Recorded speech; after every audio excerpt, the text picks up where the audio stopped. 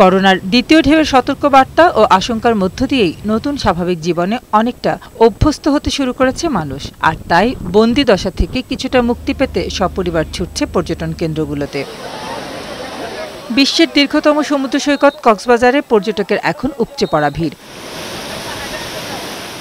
সূর্যোদয় বা সূর্যাস্ত দেখতে সপরিবার তারা নির্বিঘ্নে ঘুরে বেড়াচ্ছেন। স্বাস্থ্যবিধি বা কোনো সতর্কতার নমুনা চোখে পড়ে না। গায়ে গা ঘেঁষে হাজারো পর্যটক জাহাজে চড়ে পাড়ি জমাচ্ছেন সেন্ট মার্টিন দ্বীপে। জাহাজে ওঠানামার পথে এমন দৃশ্য দেখে মনে হতেই পারে, দেশে করোনা বলে কিছু নেই। ঝুঁকিপূর্ণ তো একদিক থেকে হবেই, আর যেহেতু এই সময়টা মোটামুটি ঘোরার জন্য এই শীতের শুরু বা শীতের শীতটা যেহেতু, তো সেই ক্ষেত্রে ভিড় তো একটু থাকবেই। তো ঝুঁকিপূর্ণ হ্যাঁ ঝুঁকিপূর্ণ তারপরেও যতটুকু স্বাস্থ্য বিধি মেনে চলা যায়। যে মাস্ক আমার হাতে আছে হয়তো এই মুহূর্তে পরি নাই আমার মতো এখানে নাইনটি নাইনটি পার্সেন্ট লোকজনে মাস্ক পরে নাই এটা সত্য। পড়াইছিলাম পড়তে পড়তে অনেক সময় ভুলে ব্যাগে রেখে দিছি। মাস্ক আনছিলাম ঢুকে রাখছি একটু ছবি তোলার জন্য। জি জি মাস্ক আমি ইউজ করছি জাস্ট এই কথা বলার জন্য আমি এটা খুলছিলাম আর কি।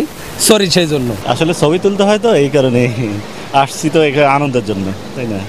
আনন্দ উপভোগ করার জন্য। কক্সবাজারে আসছি হাওয়া খাওয়ার জন্য তাই মাস্ক পরি না আর কি। সবাই এনে তো প্রায় আপনার তিরিশ হাজার মানুষ আছে। সর্বোচ্চ দুই হাজার মানুষের মাস্ক পরছে আর বাকিরা তো পরে নাই। মাস্ক পরাটা উত্তম তারপর মাস্কটা পরি না এটা আসলে অসচেতনতার অবশ্য স্বাস্থ্যবিধি মানতে পর্যটকদের সচেতন করার কাজ করে যাচ্ছেন বলে দাবি ট্যুরিস্ট পুলিশের। স্বাস্থ্য সচেতনতা তারা মেনে পর্যটকরা যেন তারা পর্যটন এরিয়াতে আসেন। আমরাও টুরিস্ট পুলিশে বিভিন্ন পয়েন্টে এন্ট্রি পয়েন্টে আমরা কাজ করে যাচ্ছি। আপনারা জানেন যে বিশ্বের সবচেয়ে সব লম্বা সি বিচ হলো কক্সবাজার। অনেকগুলো এন্ট্রি পয়েন্ট রয়েছে।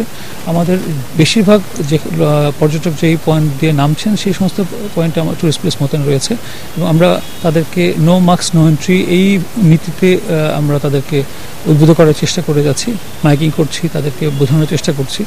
আমরা এই উদ্যোগটা আমাদের চলছে সব জায়গায়। এদিকে প্রকৃতির খোঁজে দেশের ভেতর বিভিন্ন পর্যটন গন্তব্যে যেতে আকাশপথ বেছে নিচ্ছেন পর্যটকরা। দেশীয় এয়ারলাইন্সগুলো বলছে, অভ্যন্তরীণ গন্তব্যগুলোতে যাত্রী সংকট কেটে অনেকটাই আগের মতো স্বাভাবিক অবস্থায় ফিরেছে। আমাদের এখন প্যাসেঞ্জার ভলিউমটা কোভিড নাইন্টিনের আগে ডোমেস্টিক সেক্টরে যে প্যাসেঞ্জার ভলিউম ছিল almost there civil aviation authority combine করে আমরা এরকম কিছু সেফটি নেট করতে পেরেছি, যার ফলে এভিয়েশনটাকে লোকজন সেফ হিসাবে নিচ্ছে। এবং আমরা আল্লাহ রহমতে we have we are almost there pre covid সিচুয়েশনে আমাদের যে অবস্থা ছিল। আমরা এখন ফার্দার এক্সপ্যানশনে যাওয়ার চিন্তা করছি। আকাশপথে উড়োজাহাজের মতো পর্যটন কেন্দ্রগুলোতেও যাতে স্বাস্থ্যবিধি মেনে পর্যটকদের ভ্রমণ নিশ্চিত করা যায়, সেজন্য তদারকি ও প্রচারণা দুই বাড়ানোর তাগিদ সংশ্লিষ্টদের। রীতা নাহার, বৈশাখী সংবাদ, ঢাকা।